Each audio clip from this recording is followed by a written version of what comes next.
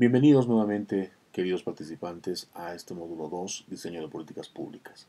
En esta ocasión vamos a trabajar sobre la unidad temática número 3, titulada Participación Ciudadana en el Diseño de Políticas Públicas. Esta unidad está dividida en dos partes, la transparencia y legitimidad de la administración y los instrumentos para la consulta ciudadana.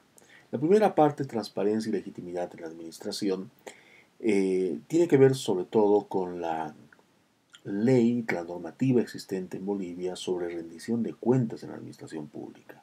Y sobre ese tema ustedes tienen en la plataforma, en la guía de, de docencia, de clases, en el material bibliográfico, amplia información y referencia sobre cómo debe llevarse adelante la rendición de cuentas como un acto de transparencia y de legitimidad de la administración pública. En este video vamos a concentrarnos fundamentalmente en los instrumentos para la consulta ciudadana, pero no quiero comenzar ese tema sin antes eh, señalar un punto central sobre transparencia y legitimidad. Los actos de participación ciudadana, tanto en la identificación del problema, en la formulación y en la implementación, le dota a la política pública de alta legitimidad. Pero además la rendición de cuentas sobre la ejecución de la política pública, es decir, la implementación y sus resultados, le dota, además de transparencia a la política pública, mayor legitimidad. Es decir, una política pública, mientras mayor participación tenga de la ciudadanía, tiene mayor legitimidad. Y mientras mayor transparencia tenga la política misma en su formulación y en su implementación y en su evaluación de cara a la sociedad, esa transparencia ayuda a la legitimidad de la política pública y en el, en el sentido fundamental de el beneficio que genera la sociedad la implementación de esta política. Ahora, la participación de la sociedad puede ser puede ocurrir o puede tomar lugar de diferentes formas. Y estas formas requieren determinados instrumentos, instrumentos de participación y en particular instrumentos de consulta del Estado a su sociedad.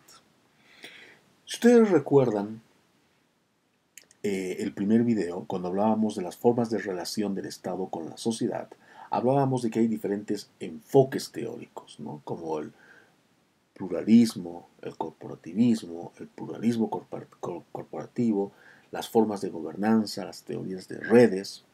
Es en ese contexto que esta unidad temática referida a instrumentos de consulta presupone que el Estado tiene una vocación genuina de relacionarse con la sociedad, sea como a través de mecanismos de consulta, a través de mecanismos de participación, a través de mecanismos de representación, pero se supone que el modelo de Estado en el que estamos en Bolivia y el modelo que asumimos para este diplomado es uno en el cual el Estado tiene una vocación, repito, legítima, una vocación real de vincularse, relacionarse, comunicarse con la sociedad.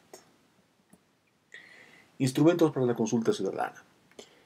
Los nuevos sistemas de gobernanza enfocados en la participación de los ciudadanos como grupos de interés directos, aquellos sobre los cuales trabaja la política pública de forma directa, incluyen cuatro enfoques alternativos.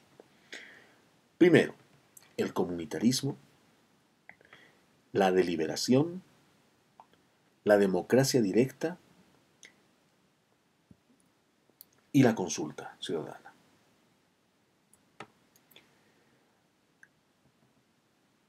Para fomentar la participación de la sociedad en cualquiera de estos mecanismos, es necesario tener un marco analítico que nos permita definir la forma en la cual la sociedad va a participar.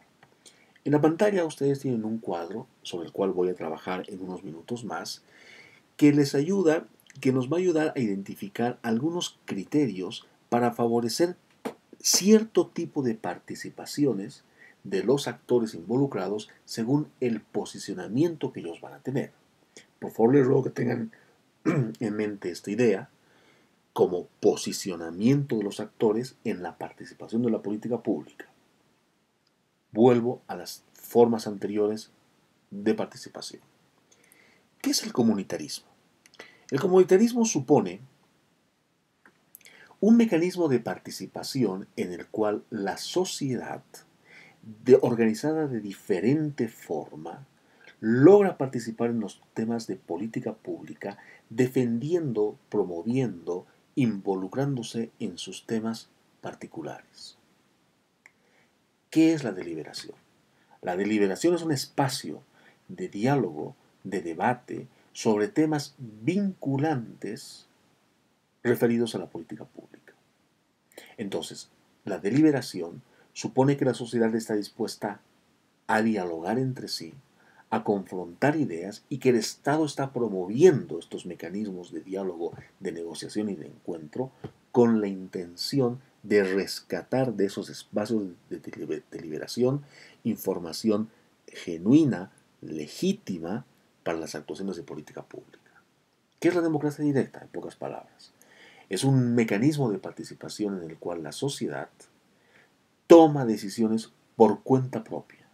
Y al tomar decisiones por cuenta propia, esas decisiones necesariamente deben ser vinculantes o aceptadas por el gobierno.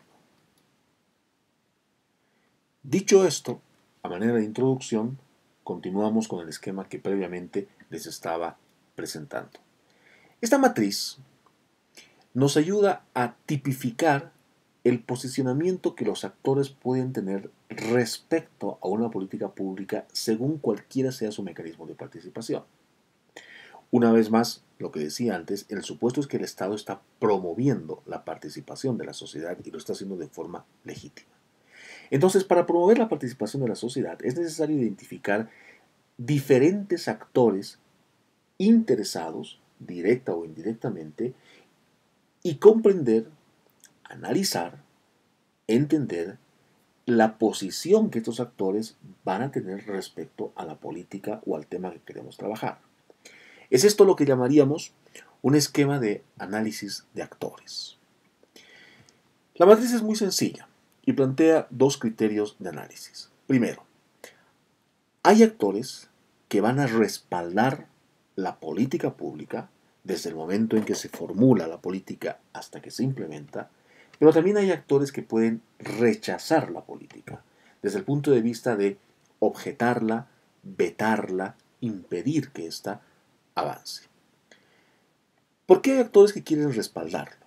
Porque están de acuerdo con el cambio porque han identificado un problema y entienden que en la actuación gubernamental hay un camino de solución al problema de política pública identificado. ¿Por qué hay actores que se oponen? No porque quieran causar un daño a la sociedad o porque no quieran resolver un problema, sino porque en general hay actores que prefieren la seguridad del status quo en el cual desarrollan sus actividades.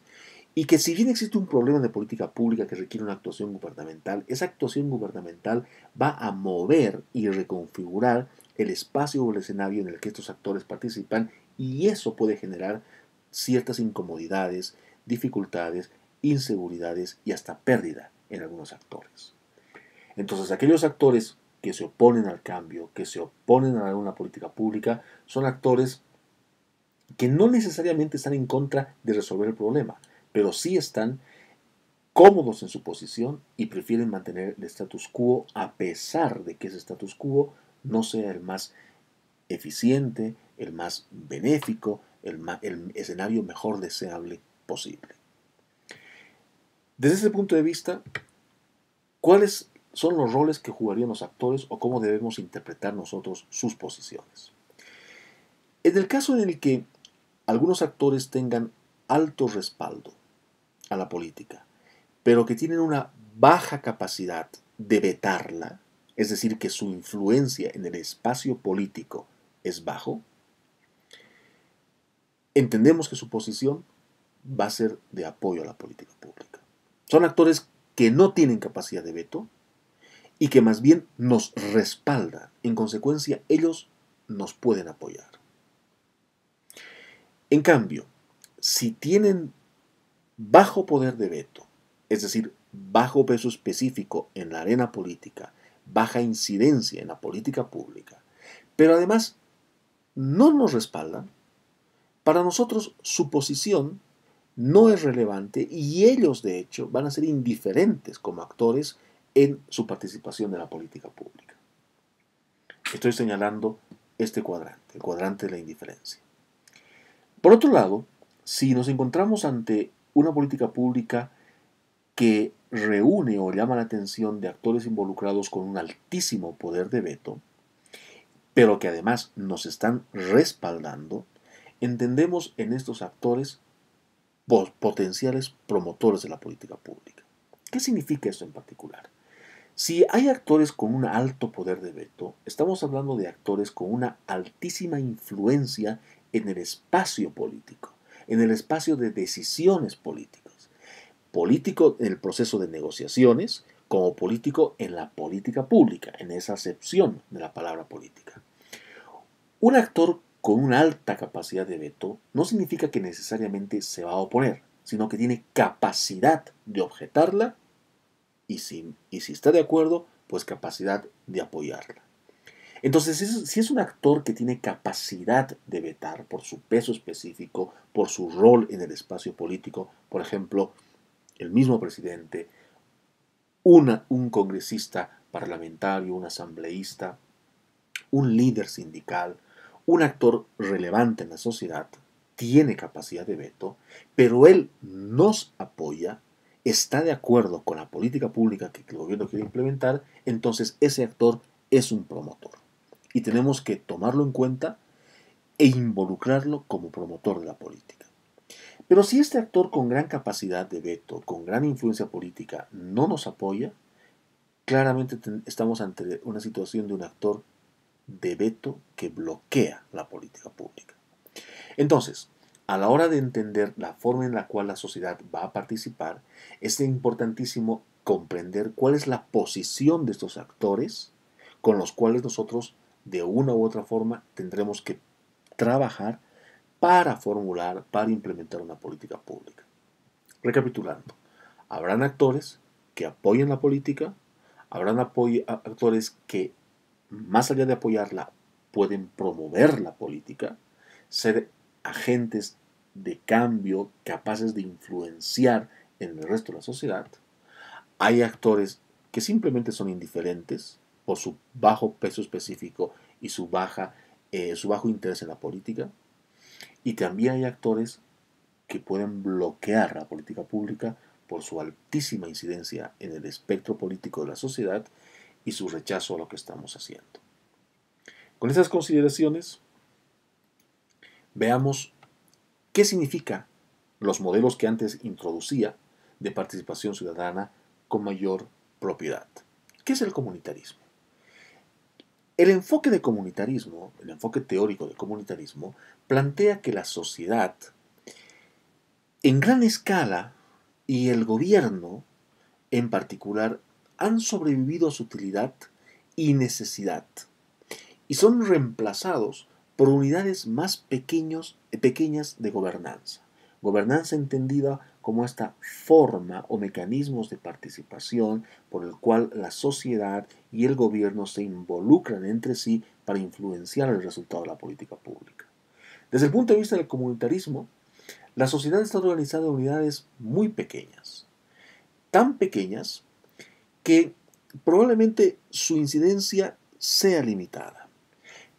Pero el enfoque de comunitarismo parte de un supuesto, y el supuesto es, es que la sociedad tiene una necesidad, un deseo, un compromiso de participar, de, de participar en organizaciones fuera de su entorno familiar, es decir, en organizaciones o en espacios de participación político, sociedad.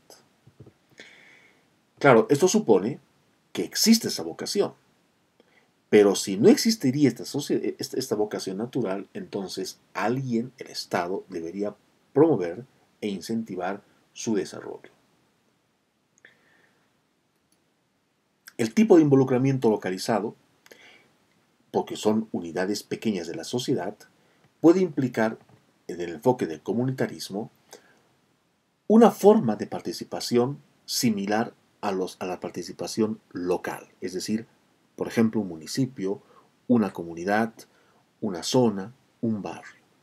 Desde ese punto de vista, que es una crítica al comunitarismo, podemos entender que el comunitarismo, por su especificidad local, puede reducirse a una participación local, sin, sin mucha influencia nacional.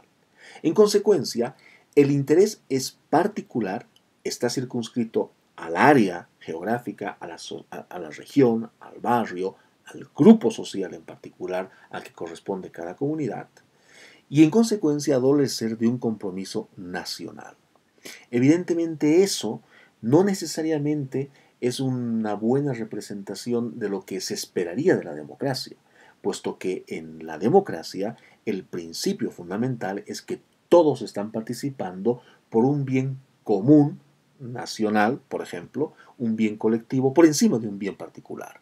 Pero en el comunitarismo existe el riesgo de que por trabajarse o tratarse de unidades locales pequeñas, enfocadas en sus propios intereses, el interés local, el interés comunitario de la comunidad, se sobrepone, se superpone al interés nacional y eso debilita eh, la calidad de la democracia. ¿Qué es la democracia deliberativa?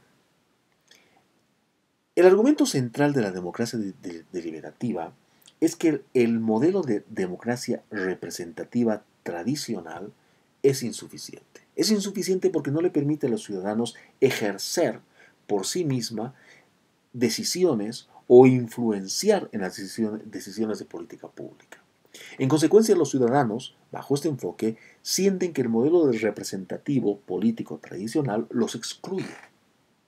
Y en consecuencia, ellos desean, la sociedad, desarrollar nuevas instituciones, nuevos espacios de discusión y deliberación. Esto generalmente resulta muy útil en espacios locales, eh, ámbitos locales, geográficos y también ámbitos de interés sectorial muy específico.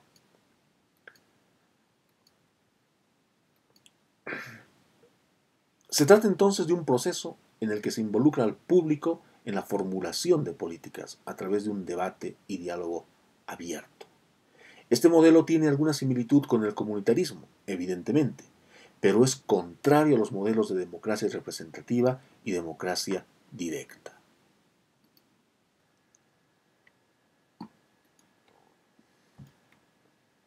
La pregunta en este escenario, donde la sociedad delibera por sí misma, es ¿cómo es posible que las decisiones sean tomadas en un espacio de deliberación eh, local, abierto e intenso como proceso político?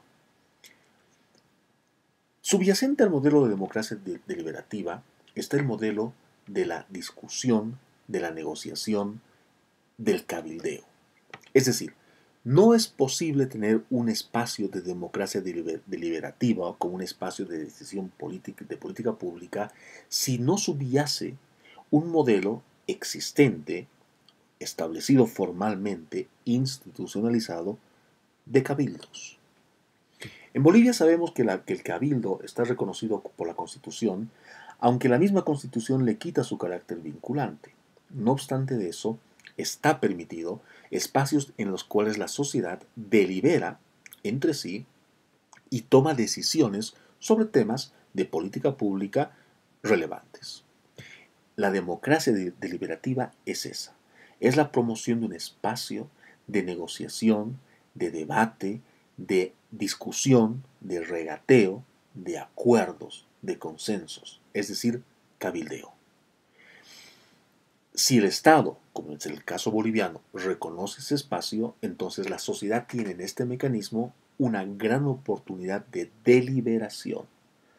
Aunque, repito una vez más, en nuestra Constitución los resultados de estos espacios de negociación o de deliberación no tienen necesariamente un carácter vinculante, aunque en la buena práctica de la política pública sí deberían ser vinculantes estos, los resultados de estos espacios puesto que estamos hablando de un mecanismo de participación ciudadana democrático, deliberativo y legítimo.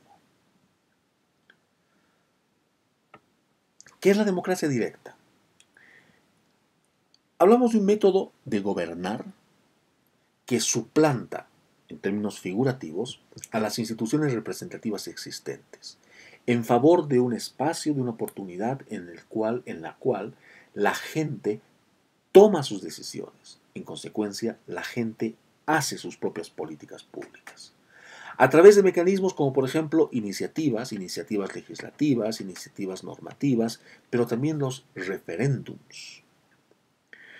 La justificación para que la democracia directa exista es que sea un ejercicio simple, claro y, y fundamentalmente democrático. En consecuencia, bajo esa lógica, la gente debería ser capaz de tomar decisiones por cuenta propia sobre asuntos importantes que le afectan. Esto, la existencia de este mecanismo y la, existencia de esta capacidad en manos de la gente, de la sociedad, presume que las personas son capaces, tanto como sus gobernantes, de tomar sus propias decisiones sobre temas complejos y que son capaces de tomar estas decisiones en un contexto de información y debate limitado. Vamos a imaginar espacios de debate, vamos a imaginar temáticas eh, de debate, de política pública, en los cuales el Estado reconoce que, el gobierno central quiero decir, reconoce que él mismo es insuficiente por su carácter de legitimidad y de representación, insuficiente para decidir sobre temas altamente sensibles que afectan de forma significativa a la sociedad, a un conjunto de ella o a toda la sociedad.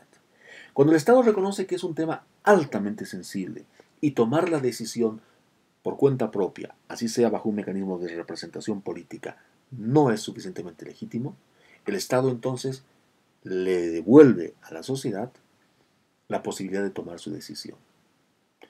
Vuelvo al principio de esta diapositiva, lo que estoy señalando con el puntero hay un reconocimiento implícito de que la sociedad suplanta en esos espacios de debate a las instituciones representativas.